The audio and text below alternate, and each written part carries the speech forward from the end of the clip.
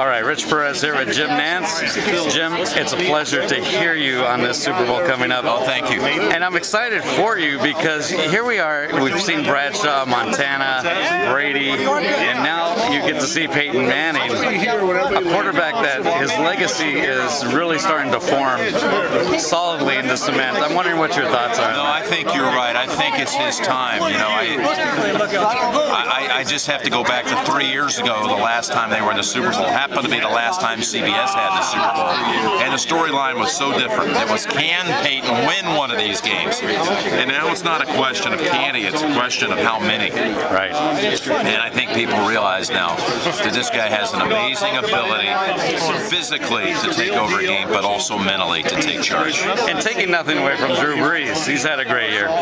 But, you know, Drew Brees coming into it now, I'm wondering if he will have his own legacy down the road here. Well, he could, and it could start on Sunday. You just don't know, you know. But uh, think it's it's been a real breakthrough year for Drew. I think a lot of people have recognized for the last couple of years that he's been one of the best in the league. But he never came up in that first three name list that, that you talk about. You know, it was, it, it, he, he just he wasn't going to be the, the, the, next guy that you. Was always going to be starting with Brady and Manning, Manning and Brady, uh, and, and now I think Drew Brees, you know, is. I mean, the insiders we knew, but he's totally on the map now, and he's got a chance to have many more occasions like this. Well, Jim, thank you so much, and good luck to that. Thanks, buddy. All right, take care. forward to it. Thank All right, partner. Thank you.